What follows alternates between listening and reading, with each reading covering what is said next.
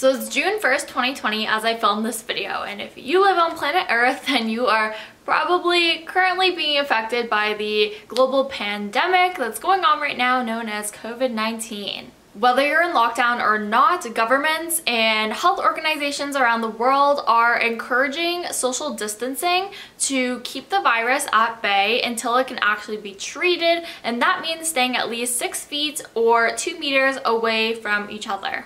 But based on what we see from official numbers, the virus is still continuing to spread. Well, why is that? Well, that's because us as human beings engage in three types of social habits, if you will, and that actually prevents social distancing from working at maximum capacity. And even if you're watching this after the pandemic is over and there's no more encouragement of social distancing, if you can break these three habits, then you are just going to be able to prevent yourself from getting sick in the future.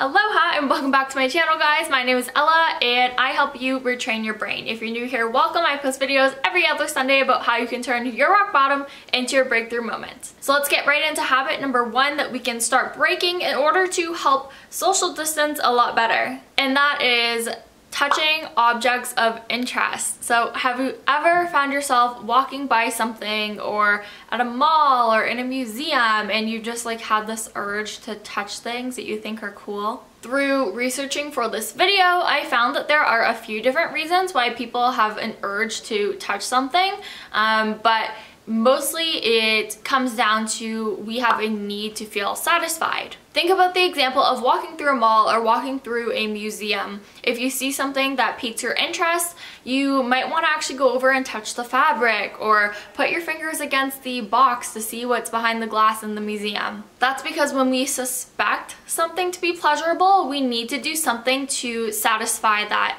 suspicion. And when that suspicion is confirmed, then we get a little dopamine effect going on in a part of the basal ganglia called the caudate nucleus. I'm going to put a picture somewhere around the screen. So if you think about what a habit is, it is always a stimulus response activity. It is always an if this, then that procedure. And in the case of habit, that response or that then that part of the procedure is always an expected dopaminergic effect. So when you see something that you expect is going to feel good, you expect that you are going to get a dopaminergic effect from touching it, your brain wants to close that habit loop and you are going to actually go and automatically go reach for whatever that pleasurable thing.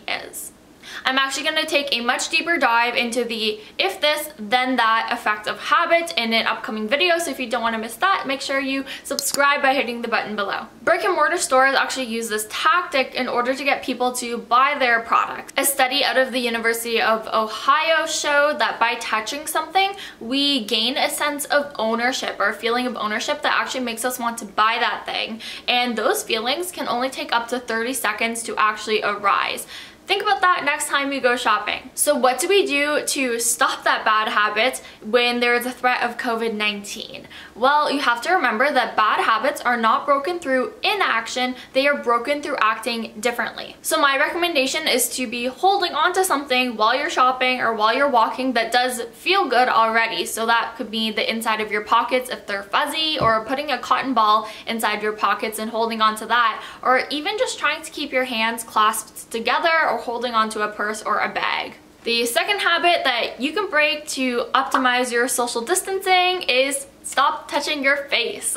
I'm sure you've heard that humans touch their faces a ridiculous amount of times per day. I actually found a study, which I'm going to link below, that says humans touch their face up to 23 times per hour. A 2019 study found that when we have an itch, whether that be from hair brushing up against our face or dust or whatever it may be, that triggers a response that is similar to pain and we want to do something to get rid of that feeling. I also found in my research, and I really want to make this point clear, that pain and itch are likely not transmitted via the same neural pathways. I'm going to put the part in the research paper that I found saying that quote and I want to make that clear because in my research I actually found a blog post that basically said that pain and itch are the exact same thing and they even cited the exact same research article I found. So please remember there's a lot of misinformation out there And if you are getting your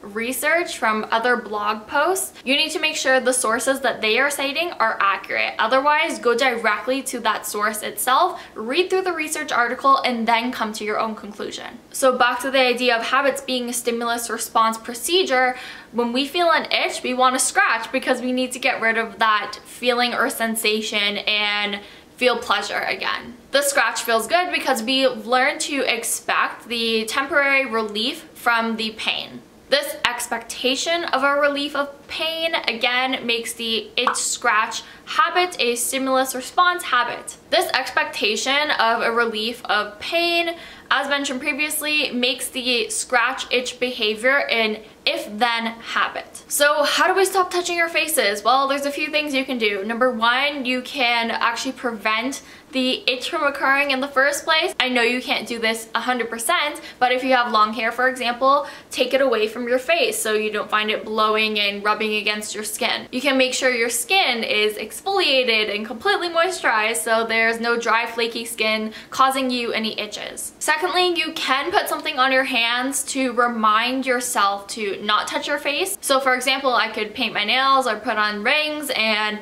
when I do want to lift my hands up to scratch my face, I might see these things and remind myself not to do that. Again, that might actually leave the itch feeling unsatisfied. So if you have the willpower, you could just remind yourself that the itch will subside or try to focus your attention on something else. But if you remember, bad habits cannot be broken through inaction, only through acting differently. So if you can't focus your attention somewhere else and that doesn't help, then what I do is honestly like fan my face this is not medical advice, people, okay? Please tell me I'm not the only person who does this to like relieve an itch. This might actually be blowing germs towards me. I don't know, but it helps. By the way, if you guys are finding this video helpful, don't forget to take a screenshot, post it to your Instagram story, and don't forget to tag me so I can share your story, and don't forget to hashtag retrain your brain. Now, the third habit you can start breaking to improve your social distancing is wanting to be close with other people when you get excited. People are social beings and generally speaking when we see somebody we like we expect that being close to them or touching them or just that physical closeness is going to bring us some sort of pleasure and happiness.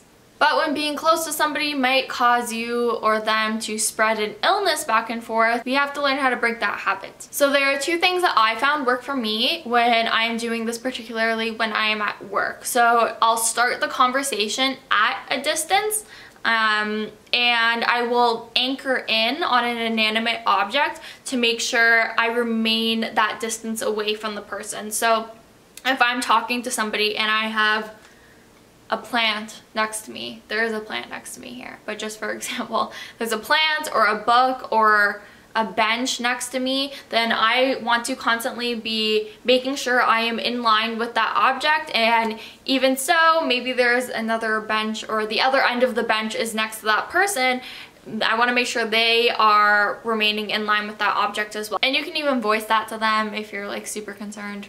And the second thing that I do is I have just been trying to slow down. After every sentence or every sentence that the person says back to me, I will make sure at that moment, am I standing at a proper distance?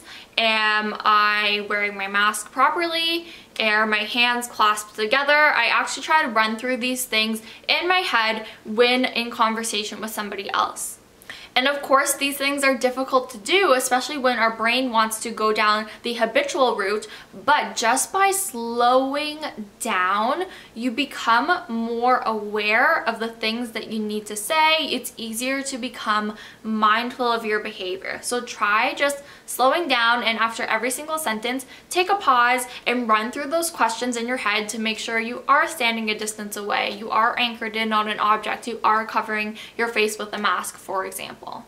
And when you do take those pauses and you confirm that you're doing those things, like yes, I'm standing six feet away, you might actually be able to initiate that dopaminergic response just by pausing and sort of patting yourself on the back for doing the right thing. Dr. Andrew Huberman of Huberman Labs on social media is actually working on this research right now where he says that you can initiate the dopaminergic effect on your own as you pursue a goal simply by stopping, pausing, and sort of giving yourself a pat on the back, so to speak. So try doing that out because again, remember, you cannot break a bad habit through inaction, you have to be acting differently. I am going to put a link to a YouTube interview with Dr. Andrew Huberman down in the description box below if you want to check it out. All in all, just remember, slow down, act differently, be mindful of your behavior and try and initiate that dopaminergic response on your own. And if you can do those three things, I'm pretty sure you will be able to improve your social distancing.